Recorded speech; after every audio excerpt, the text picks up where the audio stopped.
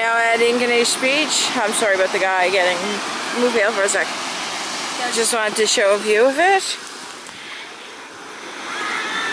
That's the Keltic Lodge there. And this is the view. How wonderful. So we're just going to get our little toes wet and then we're going to jump in. Beach.